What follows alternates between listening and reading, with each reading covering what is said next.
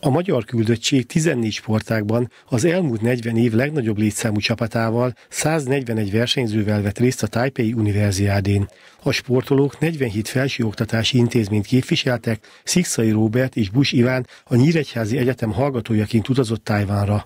Szikszai Robert bronzérmével történelmet írt, mivel a jogerődnek számító Besenyei György tanárképző főiskolát, illetve Nyíregyházi főiskolát is beleértve elsőként szerzett érmet az egyetemisták és főiskolások világjátékán a Nyíregyházi intézménynek.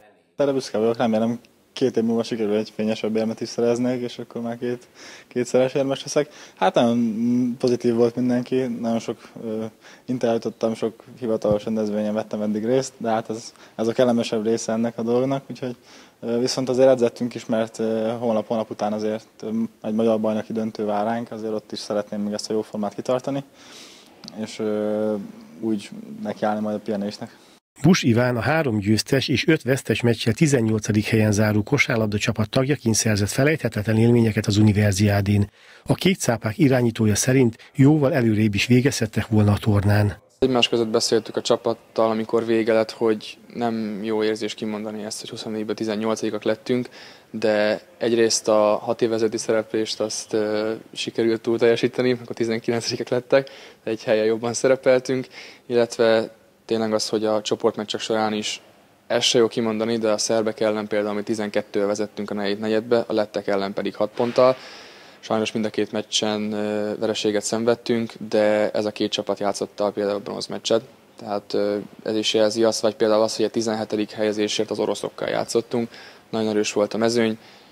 Én nem mondom, hogy akár éremmel is hazatérhettünk volna, de nem biztos, hogy a 18. hely a realitás. Sitku Ernő a Sportcentrum élsport igazgatójaként és a Nyíregyháza Blue Sharks szakmai igazgatójaként is örülhetett a két sportoló szereplésének. Robinál azt kell, hogy mondjam, hogy, hogy szerencsére az eredményei alapján várható volt, hogy ott lesz, hiszen nagyon jó formában van, és nagyon stabil teljesítmény nyújt, és bízom benne, hogy a fejlődés az töretlen lesz, és a felnőttek között is majd univerzió után Európa bajnokságra, világbajnokságra is ki tud majd jutni, de természetesen ez még a jövő zenéje.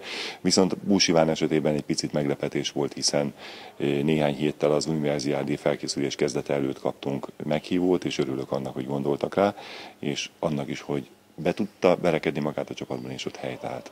Szikszai Róbert a csapatbajnoki döntő után még egy ciprusi versenyen állhat rajthoz, Busiván pedig a jövő héten Bonyhádon kezdi el a bajnokságot a kék cápákkal.